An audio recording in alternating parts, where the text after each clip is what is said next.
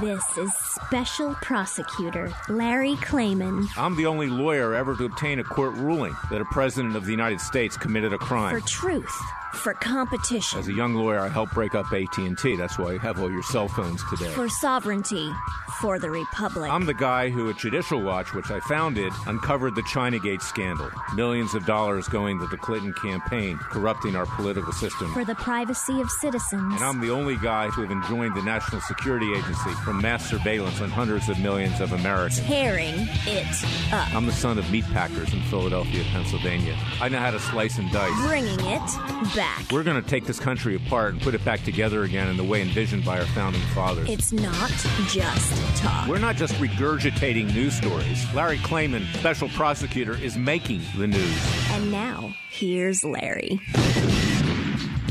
Welcome to this week's edition of Special Prosecutor with Larry Klayman. We have a great show today, but it's very timely because there are things that are going on that the American people need to understand, you and others. And we have two guests Dennis Montgomery, he's the whistleblower that you know of. that came forward with 47 hard drives, over 600 million pages of information showing illegal surveillance, not just by the national security agencies, the NSA, the CIA, and the Director of National Intelligence, but by the FBI. And Dennis was there. He was working with these people at the time that James Comey was directing this illegal surveillance. But even before that, you had the FBI Director Robert Mueller, who was also doing illegal surveillance. These are crimes, and these individuals do not deserve to be subject to a special counsel, or I would call it right now, a special prosecutor investigation by Mueller. Mueller should be completely out of it. He should be investigated himself for committing crimes against the American people. And Comey, he should also be under investigation. And it just shows you how corrupt Washington, D.C. is today. It's corrupt beyond anything you can imagine. I know what I'm talking about, and it's why in my book I wrote Whores Why and How I Came to Fight the Establishment. I'm writing a new book, book The Whores Are Back, and you'll be able to get that in the next several months. Uh, in addition, I have a book that I've also written, a compilation of all of my columns called Essays of a Madman, and you'll see the evolution between the Clinton era, the George W. Bush era, the Obama era and the Trump era in what has been going on in this country. And you can go to freedomwatchusa.org and look for those publications and also sign up for our newsletters and our YouTubes and keep up to date because this is going to be a great show because it's going to be educational. Uh, people really need to understand what Washington, D.C. is all about, why it's the capital of corruption. And then we're going to have Carol Bundy on, a really brave lady. She's the wife of Cliven Bundy. Cliven Bundy uh, obviously is the rancher who stood off the government using his Second Amendment rights. He wasn't armed, but people came to his defense who were armed. And of course, it was heavy handedness by the Bureau of Land Management that was then being run by a lackey, a former corrupt senator from Las Vegas, Harry Reid, and President Barack Obama that were trying to take his land away from him. This is a big issue throughout the West and throughout the United States, land rights and the federal government using its excessive force to basically take over people's ranches. A lot of ranchers have lost business, but Carol is on the ranch with her daughters. She's kind of like Abigail Adams, and back during the days of the revolution, taking care of the ranch when her husband was off in France trying to get the French to support us with our revolution. And this is a revolution. Because if we can't use our Second Amendment rights against a government that's tyrannical, if we can't stand up for what we believe is right, if the Constitution means nothing, then in fact we've lost all of our freedom. So those are our two guests today. But I want to start off talking about the U.S. Department of Justice. I, of course, am an alumnus of the U.S. Department of Justice. And I was proud of that when I first got a job back in 1979. I literally took a vacation. I was working for a law firm in Miami, Florida by the name of Blackwell Walker Gray. And I decided that Miami was great, the law firm was great, but I really wanted to be in the big leagues. I really wanted to work for the Department of Justice. It's kind of like going, what I thought at the time, I would never want to go to Harvard anymore. I wouldn't send my kids to Harvard. I mean, their minds would be destroyed. They'd become ultra leftists. They'd wind up in the streets financed by George Soros. But the reality is, is that I was really proud of that. And when I got to the Department of Justice, I saw that rules were being bent. I saw the people who knew the right people inside of the Justice Department and inside of the administration. It was initially the administration of Jimmy Carter, and then it became Ronald Reagan, that they weren't being prosecuted. I had a case, and you can read about it in my book, Whores Why and How I Came to Fight the Establishment, where we were trying to, on behalf of the Consumer Product Safety Commission, take uh, treated children's pajamas off of the market because the CPSC, Consumer Product Safety Commission, had regulated these pajamas uh, with the tris because a lot of kids were burning up in, in in cradles, okay, because the pajamas were were not flame retardant. So they legislated in, in effect, these rules which required the tris uh, be put on pajamas. And then it was found out that that was a carcinogen. Tells you how good our regulatory system is. So at the Justice Department, I was in charge to take that off the market, to go around seizing pajamas that were in the hands of retailers and wholesalers and others. And there was a company down in North Carolina, Troxler, that had actually broken a bond when this product was seized by the Justice Department for the CPSC, and in fact sent the pajamas to Venezuela, where Venezuelan kids could wind up getting cancer because it was a carcinogen. And we were unable to prosecute the owner of that company.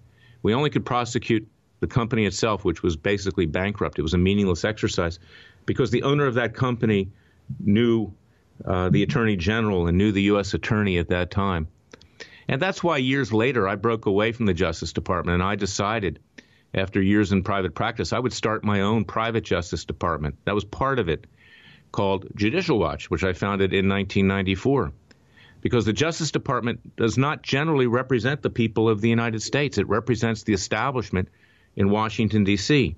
And let me bring that forward a little bit. Right now, we have a lawsuit, and it touches on Montgomery.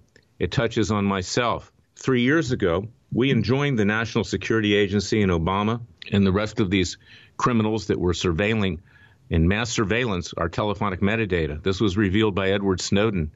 And we got a valiant federal judge by the name of Richard Leon, and I've talked about this before, to enter preliminary injunctions and in those preliminary injunctions, ordering that the illegal surveillance stop, he made findings that this illegal surveillance was unconstitutional under the Fourth Amendment, that it was a violation of privacy.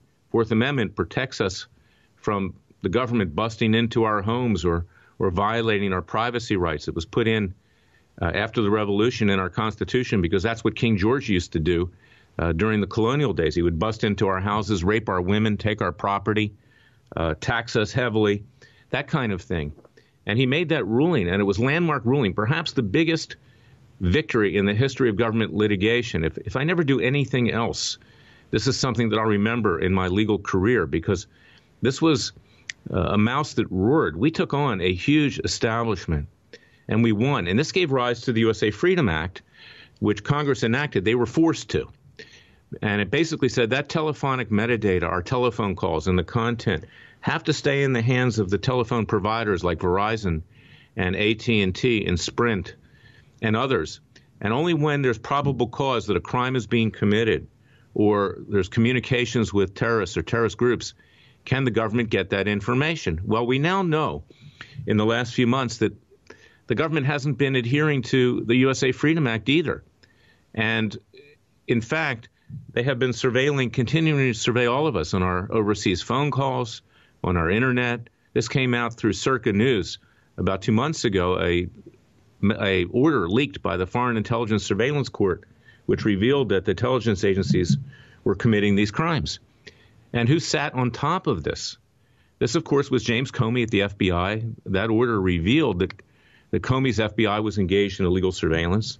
So was the NSA. So was the CIA. And so was the Director of National Intelligence, which oversees these intelligence agencies. Around that time, I started to see that my phone had been violated. I regrettably hit an update. By the way, be careful when people send you updates. They may not be from the telephone company, it may be from these intelligence agencies or the FBI. So I hit it, and my phone started to completely act crazy. And in fact, the, the power uh, on the phone kept going down. I went through three phones successively like this over the last eight months. I took them to Verizon, that's my provider, And Verizon said, We've never seen this before. This is not normal.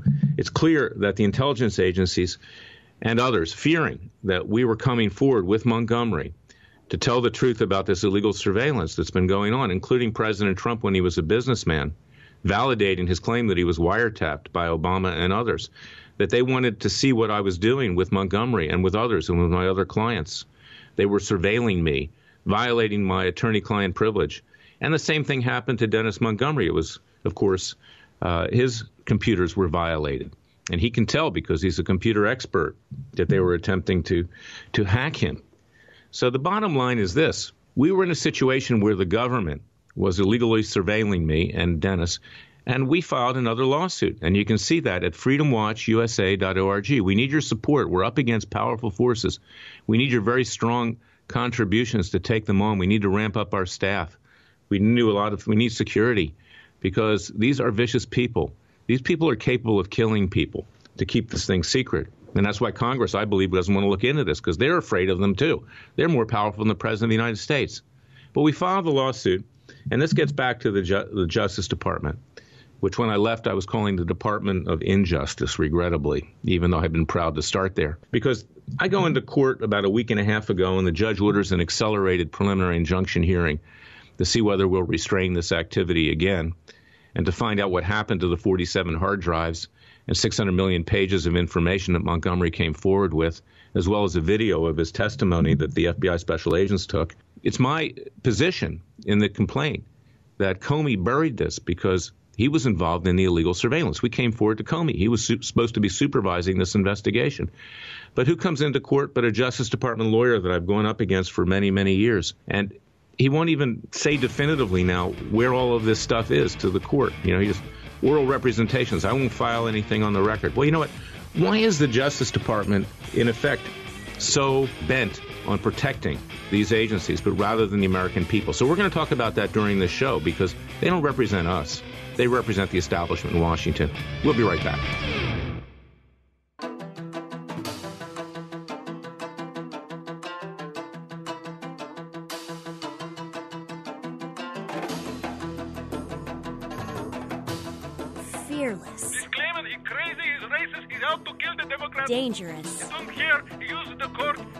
Lethal. This is bad, Special Prosecutor very bad.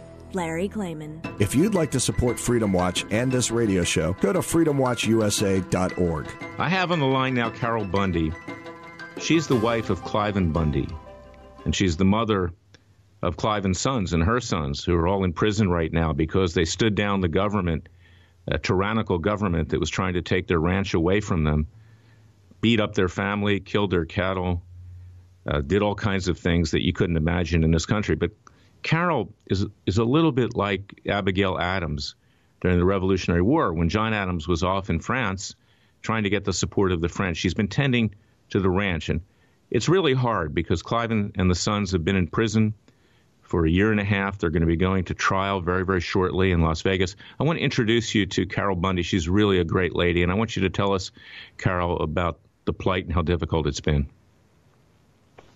Um, yes, first off, I want to say a big thank you to all the kind words, prayers, um, especially the prayers, any financial donations, or any support at all that have been given to my family.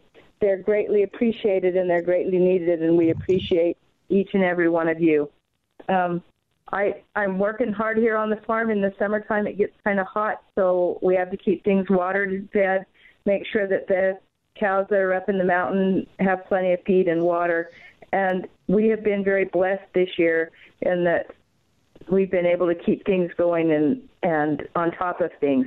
But it's not without a lot of tears and sweat and kind of feeling sorry for myself quite a bit. Well, Carol, it's, it is a difficult situation, and we're going into trial, and we appreciate the support of the American people on this.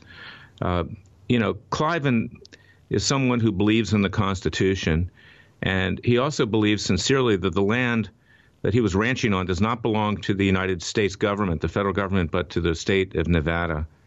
And it, I think it's important for people to understand the, the courage of Cliven's conviction and your sons, how they're risking everything for the American people to keep the tyranny of government off of the American people's back. If you could talk about that just a little bit. You are right. Uh, we believe that this is a sovereign state of Nevada, and we have rights to run our cattle. They're not a privilege, they're a right. They're private property rights to ranch in the northeast corner here of Clark County, Nevada. And we also uh, believe we have no contract with the federal government, so we are in the we're in the wrong court. we should be in a state court, not in a federal court, because we have no contract or or no business with the federal government. But even if let's say the issues over grazing fees initially that was the pretext and of course the desert tortoise they said that we were yeah. hurting the desert tortoise even though uh, the cattle and the desert tortoise like each other a lot. They live together frequently. They do. It was a pretext. But even if that's so, even if you owe the government money, which we don't believe that your family does, it, it doesn't give them the right to break into your house and beat up your family and kill your cattle. I mean, can you imagine that in today's day and age? And that's exactly what happened in the days leading up to the revolution. And that happened to you, did it not? It did. In in um, in April, at the end of March and April, they started um, moving in around our home. We had snipers on the hill. We had communication pointed at our home, so we knew that anything and everything we said was being communicated. Excuse me. They were listening to everything we did and said. They were following us in our vehicle. We could not do anything without having eyes on us, and that happened in April in the weeks leading up to the standoff where they did abuse my family, uh, threw my sister-in-law to the ground. They threw my son, Dave, to the ground, and he spent one night in their uh, jail.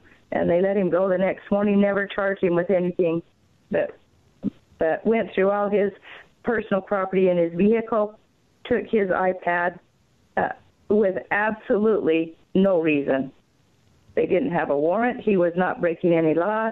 They just didn't like where he was standing. Well, and this is the government we live in today. I mean, you know, if you're rich and powerful in Washington, D.C., nobody touches you. Nobody touches Hillary Clinton. Nobody touches even people on the Republican side if they're really high up. It's little people that get oppressed. And, you know, this is where conservatism can actually meld with other political philosophies because, uh, and I'm a conservative, I'm not talking about you, but all of us are being mistreated by this government. And these rich and powerful people in Washington, D.C., they think they control everything. But I want you to know that Cliven told me last night that he is proud and he is, is pleased to sit where he is today and endure through everything they're enduring for the freedom of all mankind. And that's the heart of this man that I'm married to. You're a great family. Thank you, Carol. God bless you all.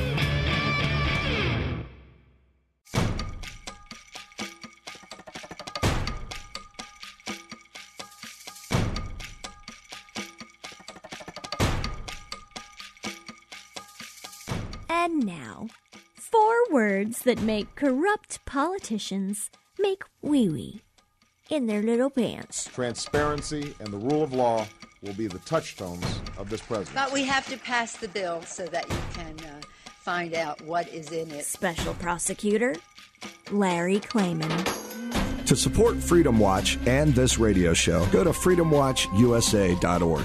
I'm here with Dennis Montgomery. He's a great hero. He came forward, unlike Edward Snowden. He didn't leave the country, he didn't go to Russia. He, of course, is the whistleblower I've been talking about a lot. This is perhaps the biggest scandal in American history. Mass surveillance, not just on all of us, but on prominent people such as the Chief Justice of the Supreme Court, other justices, 156 judges, President Trump, when he was a businessman and his associates around him. But of course, we have this lawsuit, and I've talked about this earlier on during this show and on other shows. And just yesterday, we moved for discovery. We moved to take the depositions of James Comey, of James Clapper. He was the director of national intelligence when uh, Mr. Montgomery was working with these intelligence agencies. John Brennan, that very corrupt director of the CIA that, that was trying to bring Trump down, particularly while he was CIA director, and others. Uh, and this case is moving forward. And I said earlier, to me, it's a disgrace that our Justice Department is defending these people. I mean, they should be on the side of Dennis Montgomery, particularly President Trump. Here, his own Justice Department is trying to stymie a case, and they frequently do it with false information and misleading information that deals with surveillance of the President of the United States. And the President sits on top of the Justice Department. He is the chief law enforcement officer. So there's really something messed up about our system that needs to be changed. And it needs to be changed perhaps in a constitutional convention. Maybe we need a separate Justice Department. Maybe it needs to be a fourth branch of government. But right now, it's not representing the President of the United States. In any event, uh, this is a case which the judge called a case at the pinnacle of national importance. Because if we cannot communicate freely, I can't talk to Dennis on the phone uh, and, and talk freely because we know that we're being surveilled. And that's the reason for these depositions, because we want to get it from the horse's mouth. Let them lie under oath. Okay, in this civil case, which seeks large damages and an injunction, if they get caught lying, and they surely will lie, and we'll do every we can, everything we can to catch them, this case will turn criminal.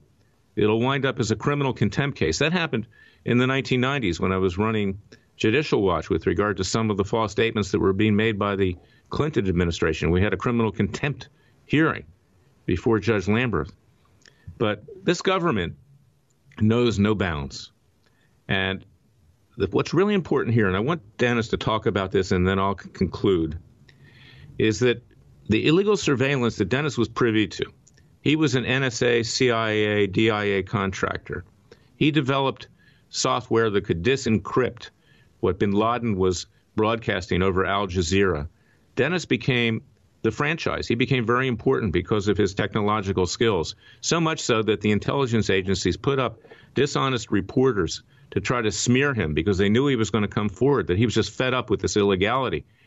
And one of those reporters was Eric Lichtblau, who worked closely with another reporter, James Risen, who wrote a book, Pay Any Price. And we're in court because it was a libelous book claiming that Dennis committed one of the biggest hoaxes in American history. Well, you know what's a hoax? Their book is a hoax, and the things that they wrote for the New York Times, this very dishonest newspaper, that's a hoax.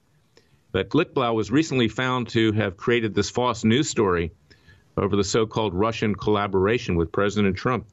And he was even forced to resign from CNN. Can you imagine CNN having to fire anybody? I mean, one of the criteria to work for CNN is, is that you're a paid liar, that you're a, an ultra leftist, and you have to do what Jeff Zucker, the head of CNN, once or you're fired. But they had to fire Lichtblau, who was supplying the information to Risen that was false, because they got caught. Well, here's Dennis, and I want Dennis to tell us about uh, what he experienced with Robert Mueller, who's now investigating the so-called Russian connection, who's hired 13 lawyers, most of them Hillary Clinton and Democrat loyalists that contributed to her campaign. They're ultra leftists. Why do you need 12, 12 or 13 lawyers to conduct an investigation before you even know whether there's a crime. It's clear that Mueller is intending to issue indictments. It's clear that he intends to prosecute. Now, he may not be able to prosecute President Trump because he's president, but he will prosecute the people in and around Trump. And he'll then create such a stench that he will refer that on to Congress for the impeachment of President Trump. And the reason that he's doing this is that he is the Washington establishment. And he is a friend of James Comey. And he's part of this really clubby group of individuals who scratch each other's backs at the expense of the rest of the American people. So I want to turn it over to Dennis because Dennis knows what about Mueller. He was working under Mueller's FBI, and he also was working under Comey. Dennis, tell us what you know. Well, my experience with Robert Mueller was firsthand. The computers that were supplied to us to do domestic surveillance for the intelligence agency was supplied by the FBI. It was the FBI's computers that were actually doing the domestic surveillance. And in 2006, Robert Mueller decided to come down on me. And he, he, Robert Mueller decided to issue a search warrant against me, an illegal search warrant against me, to gain access and control to the computers and my intellectual property. A judge investigated my response to those illegal search warrant and ruled in a 35 page ruling against the government saying Dennis didn't do anything wrong. It was the FBI and Robert Mueller who produced false information to the court to get a search warrant against Dennis and concluded that Robert Mueller and the FBI violated my civil rights. I find it ironic that the FBI is attacking me and violates my civil rights. But Robert Mueller, under George Bush and then Obama, and later under Comey, are running these domestic surveillance programs against millions of Americans. It's not just the FBI, but you were also working with the CIA and Director of National Intelligence. Tell us about that, too. Our original contracts as a, a subcontractor for the CIA and NSA was to do surveillance. Unfortunately, they decided to abuse those technologies that I had built for the governments and decided to use it for domestic surveillance. So they started collecting information on federal judges, reporters, ordinary people. The technology that was developed could penetrate any firewall or network in minutes and collect all the information that was on the other side of it. This is very, very, very powerful technology. And it was created under Robert Mueller's watch. The last person I would think that should be investigating Donald Trump is Robert Mueller, who was collecting information on Donald Trump 10 years ago. You know, we've been trying to bring you forward. Uh, in this court case that we brought on your behalf and on my behalf, the so called Justice Department, uh, which frankly should be serving President Trump, not protecting these people, they should be settling this case because they're furthering an obstruction of justice. And I'm offended as a former Justice Department lawyer that they would do that. But I've seen it many times. It happened uh, right after the Clinton administration with George W. Bush when they came in. I wanted to settle the cases that I brought. People that were, were uh, FBI files were obtained against over 900 people, and it was illegal. Hillary Clinton was behind it, uh, and her henchmen in the White House and at the FBI. And the Attorney General of George W. Bush wouldn't want to settle that case. I mean, it, it went on and on and on for many years. And because you see, two sides, they protect each other. The Democrats and the Republicans, uh, when something like this happens, they circle the wagons. And I've been trying to bring you forward to Congress. Congress, the Senate Intelligence Committee, the House Intelligence Committee, the Senate Judiciary Committee, the House Judiciary Committee can subpoena the stuff that you gave to Comey that he buried, that now supposedly, according to the so-called Justice Department, has been secured, put in a safe place. They can analyze what's been going on, and but they have no interest in doing that. Larry, it, it, I find it interesting that I produce 600 million pages. If you printed out each page, it'd be 30 miles high, stacked one on top of another. The information is very sensitive information. They collected Google searches, credit cards, phone records, images, pictures, anything and everything. And they did it for one reason leverage. They didn't know when, but they knew sooner or later they would need that information to use it as leverage against a person. You know, we're going through a healthcare debate. I've mentioned this before. And it looks like we're not going to be able to either repeal or even amend Obamacare. It's going to stay the way it is, and everything's collapsing. I've lost my life insurance, my health insurance. I have no health insurance right now. Cigna pulled out of Florida. They didn't even tell me uh, because they don't want to do business under Obamacare anymore. God forbid something happens to me, you know, in the next months before I can then join some kind of program because Obamacare says you can only join at certain points during the year. And, you know, this is what we're dealing with here uh, a government out of control. Well, Larry, so, I want to remind you that Comey was part of the Department of Justice during the Bush years. They, I remember a major incident where they wanted to extend the uh, Surveillance Act, and Comey said he didn't want to have anything to do it and made him to go to the hospital bed, I believe, then of uh, John Ashcroft. But I find it ironic that we're doing domestic surveillance all along. So I don't know why, and this is with Comey and Mueller together. Well, that's right. Mueller has and, a and, huge conflict of interest, a huge conflict of interest. Well, there's that, and we have this Orwellian state where people are scared to talk. It's very difficult, Dennis. It's hard to represent you under those circumstances because I know that they're listening all the time. They want to see what we're doing. They want to see how we're coming forward. They want to see who we're we're talking to on Capitol Hill. That's why they got into my cell phones and they tried to get into your computers. The U.S. government violates the attorney client privilege every single minute of every single day. They see who the attorneys are talking to. And the mass surveillance has been going on for probably 20 years. And I remember providing information to the FBI on the Bundys in Nevada. They were started collecting them uh, information on them in 2003. They collected their phone records, who they were talking with, etc. Well, and in fact, that, that information shows up in the indictment to some extent. They were doing wiretaps on the Bundys, and Bundys hadn't violated any law. You know, the people came to the Bundys' defense when they saw on TV, on Fox News and other places, that that the Bureau of Land Management and their goons were attacking the Bundy family and killing their cattle. But they didn't want violence. This was a peaceful protest.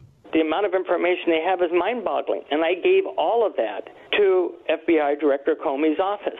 Well, I know that Comey was supervising it himself because I went over to the FBI with Judge Royce Lamberth, one of the few people, if not the only person I trust in Washington, D.C. And he knew the general counsel, James Baker. And I asked Baker, I said, I want to meet with Comey. Now, Comey didn't want to meet, you see. But he said, Baker told me and told Judge Lamberth that Comey's going to be supervising this. He just doesn't, quote, have time to meet. Well, he wanted plausible deniability, and it's clear now that they buried it because all of the information that you provided and your your interview, which was under oath because you were talking to special agents, have been buried. They've been suppressed for two and a half years. But the big issue here is, is that the government has completely collapsed. Uh, we are defenseless against this very powerful government. They do what they want, whether it's health care or anything else, and they could give a damn about the American people. And and that's the problem is that they're in it for themselves. You know, Washington D.C. continues to grow. It's prosperous. Uh, it never experiences a recession. You're all part of a club. Uh, and everybody who's in that club, whatever side you're in, I don't want to be a member of a club that would have me as a member, in the words of Groucho Marx. But you know what? They'd love to have me in the club because they'd love to co opt me. They'd love to be able to control me. They can't control Larry Klayman, and they can't control Dennis Montgomery. And we are the last hope of the American people in many ways. I honestly believe that, short of revolution. And I'm not advocating violent revolution. I want to hold that out. But Dennis, you have a brain aneurysm. You've been severely hurt. Uh, you have a GoFundMe account. Uh, you can give that to people if they want right. to support you. Uh, they can go to GoFundMe and just put the search term in CIA whistleblower, and my information will come up. I have spent every dime I have to try to get this out to the American people.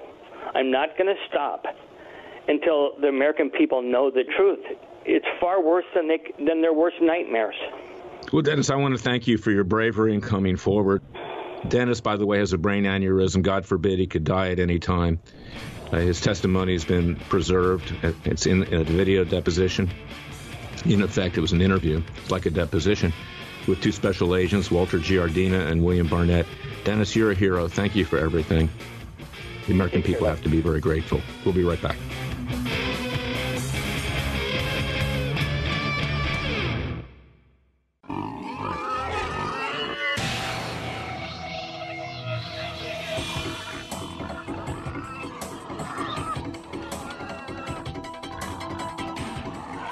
Before he was a trial lawyer, he sliced him and diced him. People used to ask me, Larry, what caused you to start Judicial Watch and now Freedom Watch, given the powerful forces in this country that put you at risk? In a meat packing plant. I'm the son of meat packers in Philadelphia, Pennsylvania. I know how to slice and dice. A very special prosecutor, Larry Klayman. Be the one who makes our country great again. Go to freedomwatchusa.org and donate. We've been talking with Dennis Montgomery and before that Carol Bundy about government tyranny, the heavy handedness, this Orwellian state we live in. And there was actually a merger because Dennis just revealed that the intelligence agencies were actually surveilling the Bundy family, trying to set them up, trying to destroy them. Harry Reid, then senator from Nevada, wanted to take the land away. He was reportedly trying to sell it to the Chinese. He was working with Obama to do that. And, you know, this is the country we live in today. But you know what? Here's the hypocrisy of the whole thing, too is that we also learned recently that, and we've talked about this, extortion 17, the biggest loss of life in the Afghan war. This was covered up by the Congress. It was covered up by then head of the Government Oversight and Reform Committee, Jason Chaffetz, who we asked to do an investigation. And he did no investigation. He called Obama lackeys coming in saying bad stuff happens. And that's what happened with Extortion 17. There was a lot of unexplained incidents and stories about that. Uh, there were no eyes in the sky. Uh, the rules of engagement allowed the Taliban to kill uh, 30 servicemen, 22 special ops, some SEAL Team 6, our client's sons, and Chaffetz covered it up. Now, we have succeeded now in getting a inspector general investigation of the Department of Defense. It's been ongoing. I was told about that just in the last two weeks. And hopefully they'll be investigating Jason Chaffetz, too, who covered it up. Uh, you know, it, it was just completely whitewashed. And this tells you something about our Congress. That's why they can't accomplish anything, whether it's with health care or anything else. Now, Chaffetz has left Congress. He's now a political commentator on Fox News, of all places. Now, I really like Fox News. I, I, I like other uh, internet sites and, and networks as well. I mean, on the conservative side. But to have Chaffetz talking to the American people on Fox News, I hope Fox News reconsiders this because this guy, frankly, uh, is no credit – uh, to the United States, and you can't believe anything he says. So I hope that they will find a new commentator over there uh, because this guy is just not credible. And this tells you basically the way our country works. It's a giant cover up, top to bottom. The beautiful people in Washington, they go to Georgetown soirees and parties. Uh, they're partying on as the rest of the country burns. And we can see that today. Now, President Trump this week was over in Europe. He was trying to represent the American people. He was trying to make sure that we have a national security. We have threats from North Korea. We have threats from Iran. And we are we have people in power now who are trying to destroy him and not letting him do his job. It's absurd. And that's the reality of the situation, men and women, is that Freedom Watch is here to be your private justice department. We need your strong support. We need your strong contributions. We need to ramp up because this government is broken away. And I'm not just saying this because I'm asking you for contributions. Go to freedomwatchusa.org. Freedomwatchusa.org. I'm saying this because I believe this in my heart. I'm laying everything on the line for the American people. I'm very religious. I, you know what, what God wants. Years ago, Jesus came to me and he said, "Larry, you're working for me now. I went through a hard period of my life." He says, "I'm with you you know, and whatever happens, I'm with you. And I believe that. I don't know if I always do the right thing, but I'm doing what I think He wants me to do. I seek guidance every night when I pray because there really is nobody else out there that's really willing to lay it all, all on the line. Even in my other group, all they get is documents primarily. I'm bringing hard hitting cases against these people who are vicious, evil people.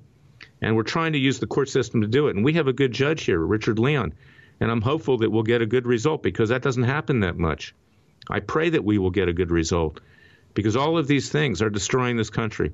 So go to freedomwatchusa.org, contribute to our cause, listen to our show, be educated. This is very important. This show is as important as the lawsuits I bring because the American people need to know the truth. And the reality is, this government on both sides, Democrat and Republican, is trying to destroy this president because he wants to clean up the swamp. Well, I'm from Florida. I know what a swamp's about. I know what alligators are about. These people that run the government in Washington underneath the president are worse than alligators. So we look forward to seeing you next week. Listen to what we have to say, contribute to our cause, and God bless you. Special Prosecutor Larry Klayman. Investigating and exposing corrupt organizations, institutions, judges, and politicians.